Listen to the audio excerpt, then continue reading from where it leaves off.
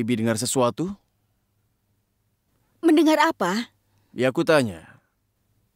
Bibi dengar yang kukatakan tadi? Uh, uh, tolong bicara yang keras. Musik Uh. nyaring dari cincin kawin sepertinya sudah membuat aku berdebar. Aku hampir tidak bisa mendengar apa-apa. Ya begini, aku bilang bahwa Bibi harus istirahat sekarang juga. Bibi pasti lelah setelah semua yang terjadi hari ini. Uh, uh, iya, mungkin aku memang lelah. Baiklah, aku pergi dulu. Bibi?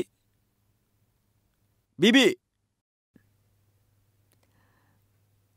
Apa kau memanggilku, Priom? Hah?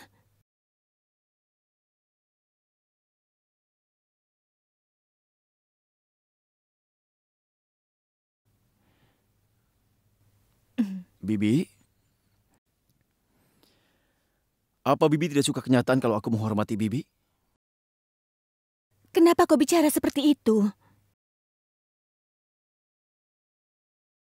Mengapa Bibi memberikan ide yang licik pada Lakan untuk menikah secepatnya? Jangan-jangan Lakan bilang sesuatu padanya. Kau ini bicara apa? Apakah Bibi sadar bahwa bisa saja Lakan mati karena semua permintaan Bibi hari ini?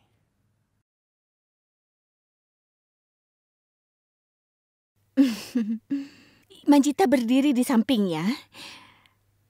Dia tidak akan membiarkan satu peluru pun melukai menantunya sendiri, ya kan?